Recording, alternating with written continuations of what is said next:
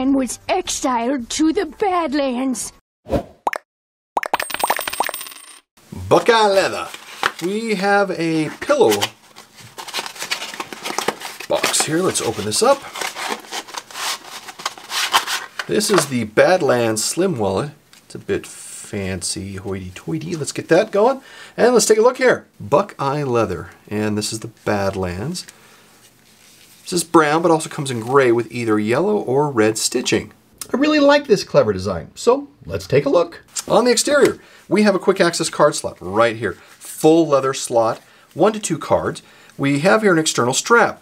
That's for security, so it comes under the strap, and that's where the, the flap goes. If we open this up, we have two internal card slots, and this is where it gets really clever. We have one right here, and another one right here. And what I think is clever about this is right here. This is an internal cash flap. Cash gets folded once, lay it out, fold it once, and this leather tab keeps it organized.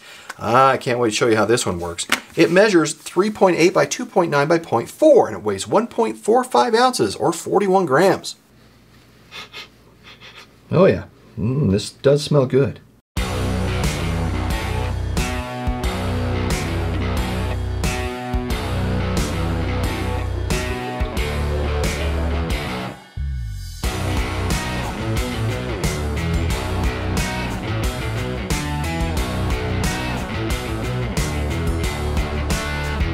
Right, company recommends up to nine cards, and you can see that U.S. or similar sized currencies work best. This is not made for uh, taller international currencies, and so you can see how this works. I, think this is really clever. I like this, and especially to give this a wrap. You open it up and you have instant access to your cash. You can just fold that, put this into place, and away you go. This is designed and made in the United States. The Badlands wallets are made from either Italian Vachetta veg tan leather or from Crazy Horse chrome tan leather, which is the gray color. Uh, the sewing is really done nicely. Let's take a look here. And we can see that in all the right places we have good reinforcement. This is what we're looking for and expect. And uh, you, you really do from a, a wallet made from such great leather and really the construction that is trying to portray. Burnishing is done nicely on all the edges. Not too high gloss, not too dull. It's just kind of right. And I think it just sits really well with the type of wallet that we're working with. The weight of the leather is perfect. You've got several layers that are going on here in particular, and overall it doesn't leave you feeling like you've got a real thick wallet to deal with. The use of a full piece of leather to make the quick access card slot is really nice right here in the exterior. This isn't just a slit that goes in, this is a full piece of leather that's uh, sewn to the exterior. I also like the depth of the flap tongue. Now, the, the reason why is because as we get more cash in here, as portrayed by, I've only got five in here. Granted, the wallet is not broken in. Breaking in a wallet will give you a, a whole different experience.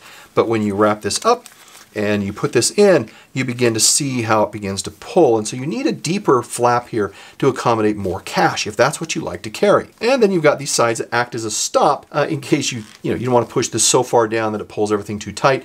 It does have its natural stopper up here, but I think that's just a nice design element. It's priced for $150, which makes my eyes water a little bit. From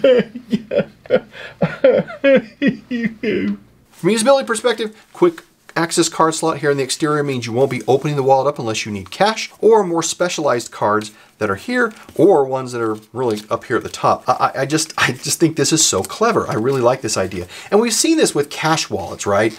Um, the kernel has some that we've looked at in the past, but I like how this is integrated and how this just lays out and provides good access to cards in a nice cash wrap environment. Pricing aside, what did you like about this wall? Let me know in the comments below. And if you've seen a design like this before, well, put it down there too. Now on to the final score. Quality of 5, price of 1. Ben's looking to establish a luxury brand, and thus he's selling his products for more, and that's kind of how that stuff works. However, you know, for what normal people would probably buy, it might be a little high. Features of 4, usability of 4, and perception of 4. And that gives us a score of 3.7 out of 5. Overall, fantastic wallet. Now hang on, because you like this video, then watch this one next, and we'll see you in the next review. Bye.